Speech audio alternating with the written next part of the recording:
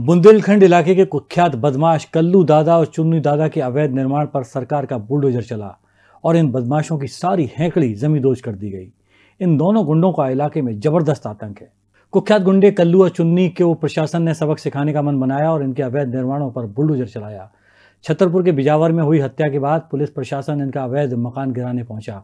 हत्या करने वाली आरोपी शहीद खान और कल्लू दादा का मकान गिराने प्रशासन की टीम पहुँची तो कल्लू के खानदान की सारी हैंकड़ी धरी की धरी रह गई।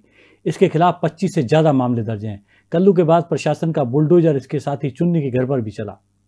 ये बिजावर थाना अंतर्गत कल्लू दादा और चुन्नी दादा नाम के दो अपराधी हैं। इनके द्वारा हाल ही में तीन सौ की घटना भी कारित की गई है।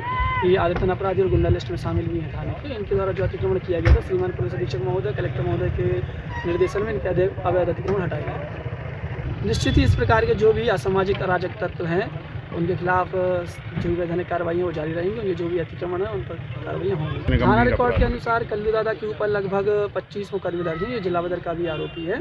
इस प्रकार चुन्नू दादा के खिलाफ भी बहुत सारे अपराध हैं और क्षेत्र में इनका बहुत ही आतंक व्याप्त है